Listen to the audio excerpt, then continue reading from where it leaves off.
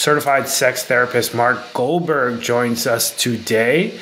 And Mark, let's kick off today's conversation discussing the psychology behind why premature ejaculation may happen. Before we start discussing the psychology behind premature ejaculation, is it purely a mental issue or is there a physical component to premature ejaculation? Okay, so like erectile dysfunction and other uh, sexual function challenges, uh, premature ejaculation is a physical condition. It has a number of potential causes, some of them being physical, some of them being mental or psychological, and probably with a fair amount of overlap between the two. Uh, there are a number of possible um, physical issues that might contribute to or cause premature ejaculation uh, that could have to do with uh, pelvic floor issues. Uh, that also seems to have something to do with uh, levels of serotonin in the brain. There seems to be a correlation between premature ejaculation and lower levels of serotonin. Uh, that may also have to do with um, sensitivity to serotonin um, in certain areas of the body or in the brain. All of these can lead to, or at least are associated, strongly associated with premature ejaculation. Would you recommend a man who is dealing with premature ejaculation get checked out by a medical doctor, um, maybe a urologist or a primary care physician before they go ahead and see someone such as yourself, a sex therapist? It's a great question. So, with any sexual dysfunction, um, even if it is rare or not likely to be the case, that could indicate some other underlying uh, medical issues or conditions.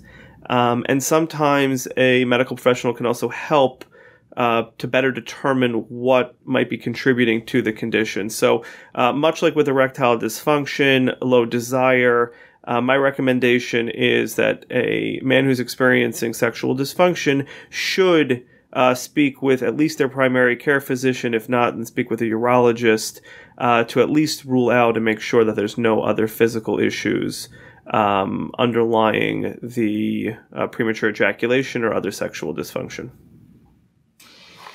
And with your role as a sex therapist, I am curious if you see men dealing with premature ejaculation. And if you do, what do some of those conversations kind of look like? Uh, so, as a sex therapist, uh, premature ejaculation is uh, one of the things that we do treat.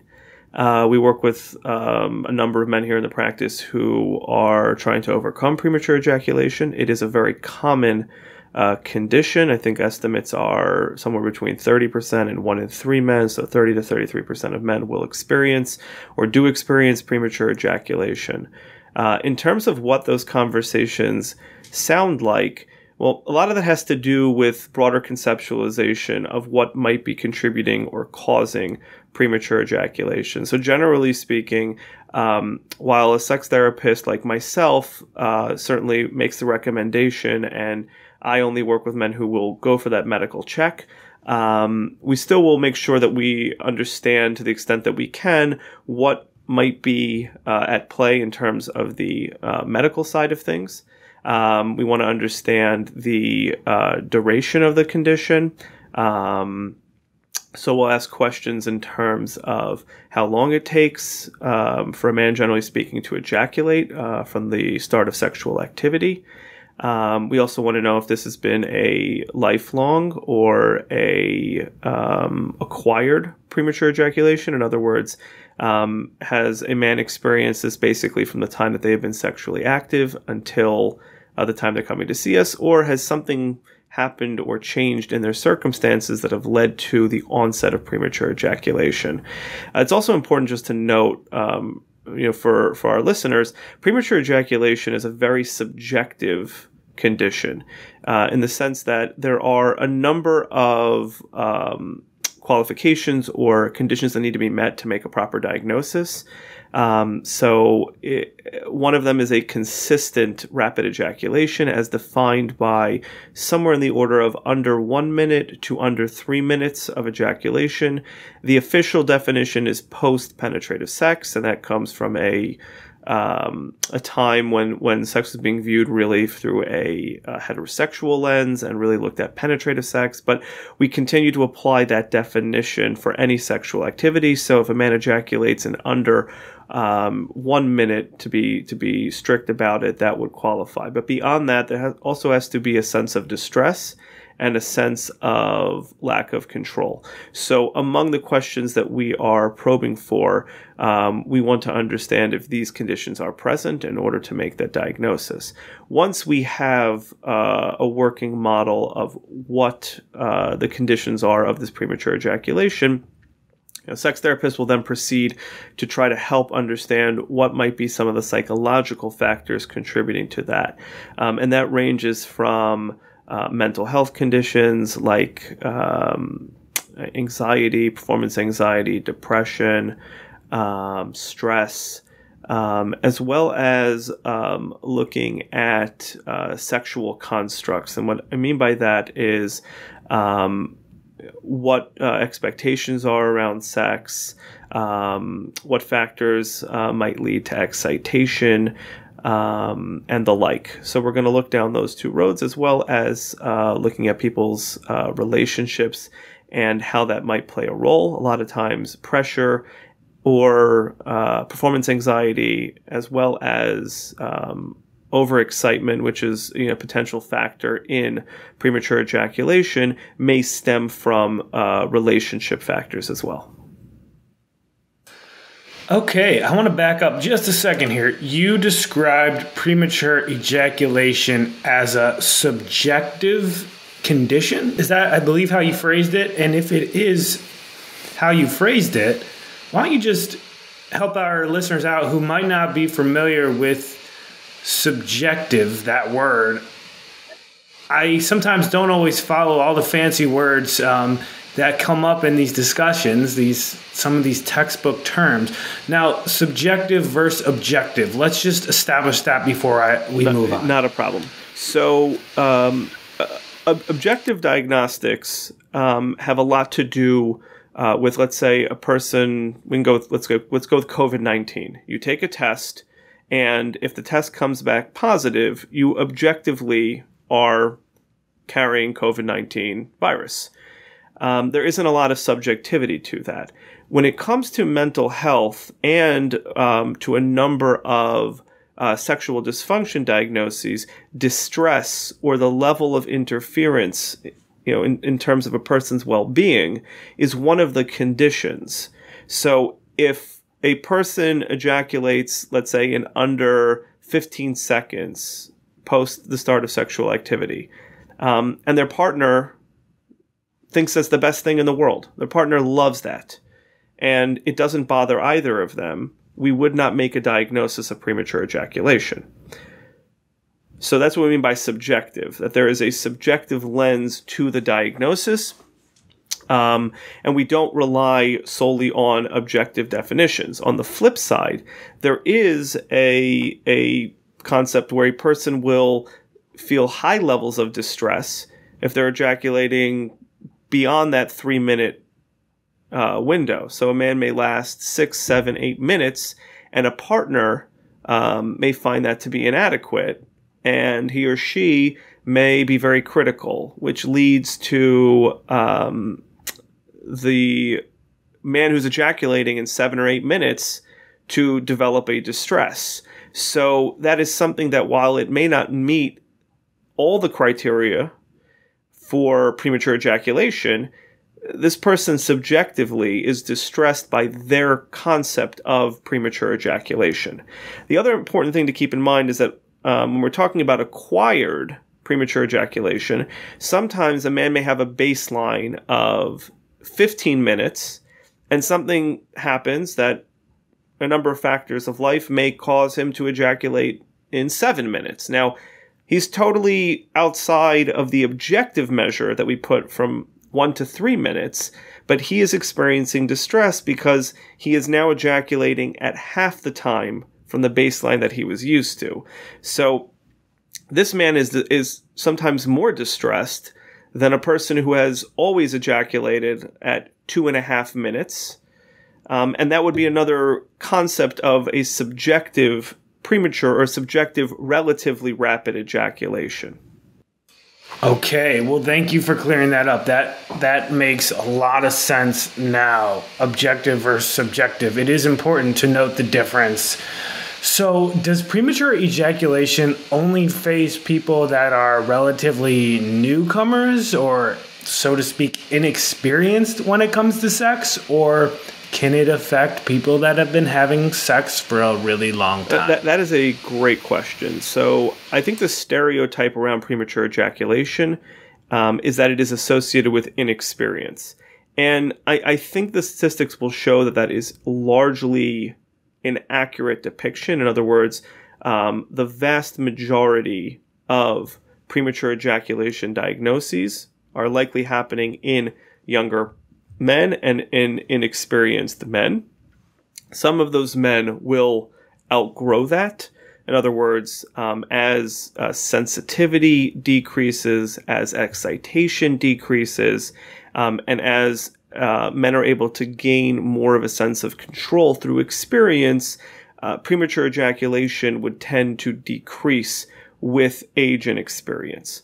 That being said, there are a fair amount of people who do develop or an acquired premature ejaculation, um, where they may have a what's what's called in our terminology ejaculatory latency period, which means the amount of time it takes from the onset of sexual activity until ejaculation.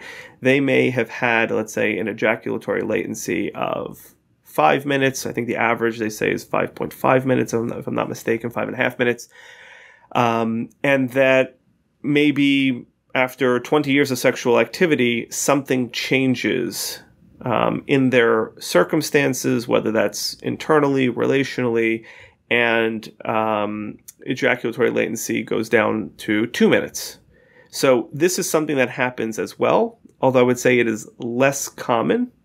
Um, that doesn't mean it's rare by any stretch of the word, but it is the le- least, it's the less common presentation the more common presentation is younger men who are inexperienced, who are now who are just starting to learn ejaculatory control. Okay, that word latency reminds me of as someone that enjoys technology, you hear about latency when there's like a delay, right? So I would just encourage listeners to think of latency as that period before orgasm. Is that what latency essentially means in this case? Yeah, we'll we'll, we'll keep it very technical here. It's the period before uh, emission and expulsion um, in the ejaculatory process, um, which which do cause or generally correlate with the orgasm sensation in the brain. But if we're keeping this on the physical side in terms of the ejaculatory process, then yeah, it's the latency until um, you know men hit that tipping point um, where you have emission of semen and then ejaculate and then expulsion through ejaculation. Got it. Yeah. Okay. That helps me kind of conceptualize this.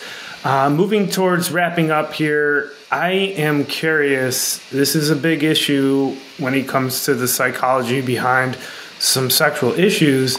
Um, when you talk about traumatic sexual experiences, that's a broad term, could encompass a lot of different things. But could a past sexual experience result in premature ejaculation? So this is a a bit of a complex question. So I want to back up here for a moment because I think it's important for our listeners to understand. We don't know there's a lot we don't know about what exactly causes premature ejaculation between the brain body connection. Um, one of the big areas that we look at is overexcitement and an inability to control uh, ejaculation. So when we talk about past experiences like a traumatic sexual experience, generally we're talking about things that are not on an excitation platform or an excitation spectrum. We're looking more at things that are anxiety provoking, um, things that might be uh, depressive, lead to some kind of traumatic flashback. Now, what seems to be the case is that both overexcitement and anxiety could be factors leading to a rapid ejaculation. And what exactly the the pathways are, I, I, I myself um, do not uh, have specific knowledge about why both of those pathways, which seem to work in opposite directions, could lead to a rapid ejaculation. So, when we talk about past experiences, some of it could be an overexcitation, not necessarily stemming from a trauma, um, but it could be um, that uh, for whatever reason it is, um, a man is very, very receptive to partnered sexual activity.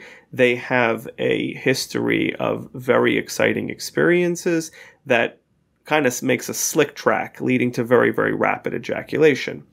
At the same time, there could be a number of experiences where um, a man, um, let's just say he um, was afraid he was going to lose his erection. And as a response to that fear, uh, he ejaculates rapidly so as not to lose his erection during sexual activity. So, totally different route, not working with excitation, working with something that probably is a little bit more anxiety based or potentially has an evolutionary mechanism to ensure um, ejaculation.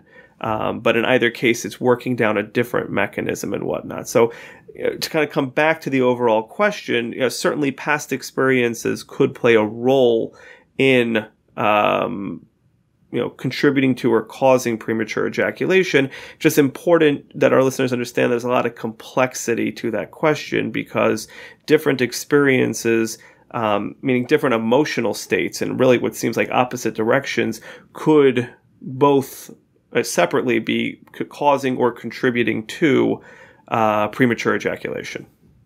Okay. And Mark, I just want to give you an opportunity to leave our listeners with any other final thoughts before I go ahead and close it out for us here today, talking psychology behind why premature ejaculation may happen.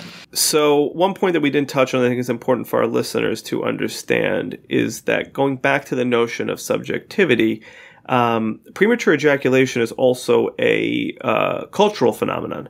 Uh, there are cultures around the world that don't view premature ejaculation, or historically, there have been cultures that do not view premature ejaculation as a problem at all. There are even evolutionary reasons why premature ejaculation might make sense um, in terms of being the first to get seed to an egg. I know it sounds kind of primitive and basic, but there are uh, a number of reasons why premature ejaculation may not really have a an objective diagnostic um, concept. However, it does cause distress because in our world, and certainly in the Western culture, because sexual pleasure is a primary focus, as you know, absolutely it should be. The idea of extending these experiences, both for personal pleasure and for pleasure of a partner, uh, this has contributed to the uh, pressure and distress that a lot of people experience with premature ejaculation. So I think it's important to have the broader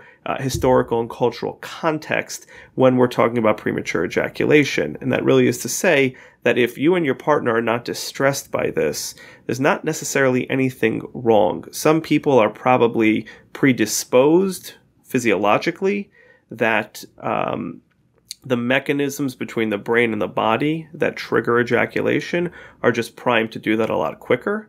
And if that isn't causing any distress, there's no need for alarm outside of just ensuring that everything is medically okay. Um, but for many people, this is just you know a natural wiring. Um, and then it's a matter of managing the distress and managing this in the context of the relationship so that everybody can be um, you know working towards maximal amount of satisfaction